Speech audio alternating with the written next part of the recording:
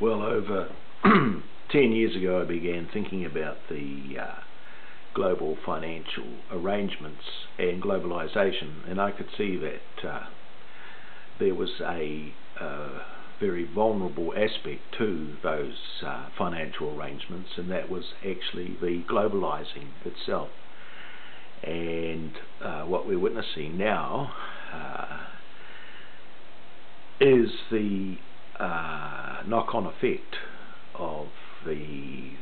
financial crisis in America, which has turned into a economic crisis and is now spreading around the entire world. Uh, one certainly can't say that the trigger for this was just the uh, financial instruments as they were operating in America because uh, in a global uh, context, uh, financial institutions tend to mimic themselves,